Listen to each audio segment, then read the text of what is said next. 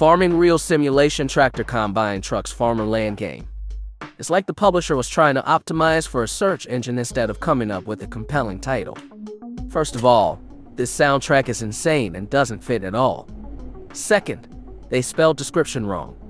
Third, I don't know anything about farm life. The hell is a cultivator? If it weren't for the arrow, I wouldn't know which end to hook up and which is the business end. But if you're interested in the latest shovelware and don't want to waste 90 seconds, but would rather have me do it, we're gonna have a beautiful relationship in 2023 as publishers continue to churn out absolute poo-poo, like this next piece of poop. I really never thought about why I was posting these videos. It was just a fun way to catalog all the games I'm going to forget about when I get even busier.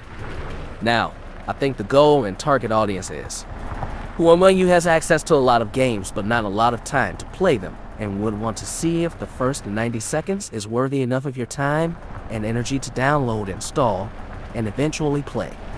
I started this on December 13th while in the middle of not paying attention to a team meeting while working from home. I had five subscribers then and a few of them were accidental. Family members who clicked on something and never unsubscribed. I never thought we'd be breaking double digits, but the count stands at 18 right now. If I can just get 982 more subscribers and 3,939 more public watch hours, I'll finally be on my way to monetization. Just kidding. I don't care about any of that. I also don't care about the people who complain about these so-called reviews being so short. I don't have time for these games or your nonsense. Go somewhere else. These graphics suck so bad. While everything is rendered in 3D, at least there are hardly any textures. Is this what farming is like? FML. 1 out of 10.